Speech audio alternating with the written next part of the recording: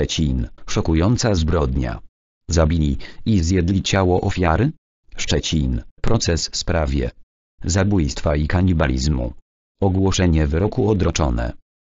W sądzie okręgowym w Szczecinie zakończył się w poniedziałek proces czterech mężczyzn, którzy w 2002 roku mieli zabić i częściowo zjeść mężczyznę we wsi pod Choszcznem Zachodniopomorskie.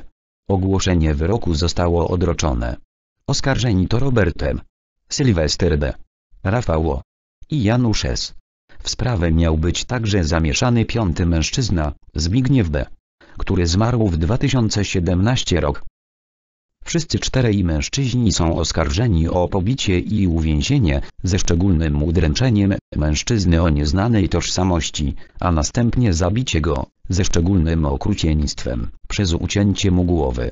Jak wskazała prokuratura, zrobili to w wyniku motywacji, zasługującej na szczególne potępienie. Mieli następnie rozczłonkować ciało, upiec je częściowo i zjeść, jako swoisty pakt, mający zapewnić milczenie uczestników zbrodni.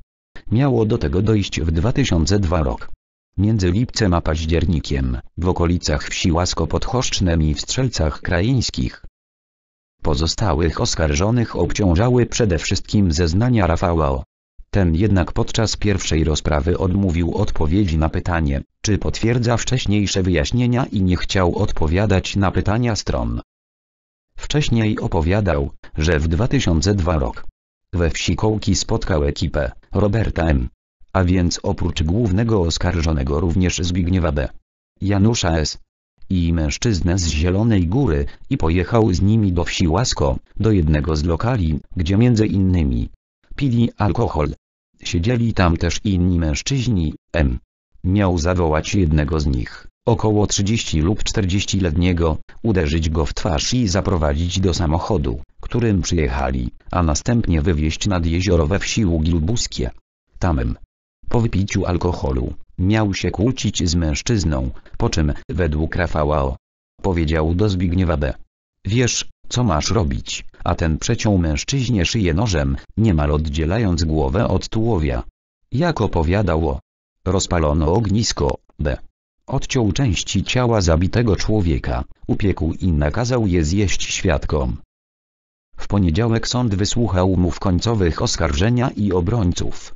Przeprowadzone postępowanie przygotowawcze, jak i postępowanie jurysdykcyjne potwierdza w moim przekonaniu winę wszystkich oskarżonych, mówił prokurator Hubert Kołtuniak.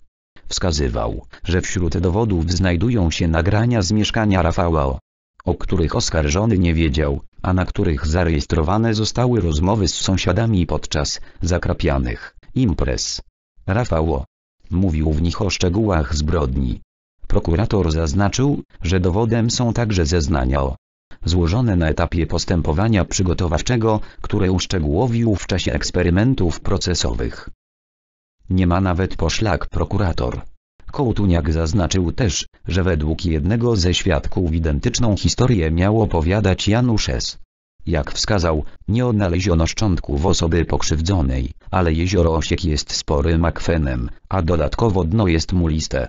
Przyznał, że zdarzały się postępowania, w których nie odnaleziono ciała ofiary, ale jej tożsamość była zazwyczaj znana. Jak jednak zaznaczył, zdarzają się przypadki zaginięć, których nikt nie zgłasza, tak mogło być i tym razem.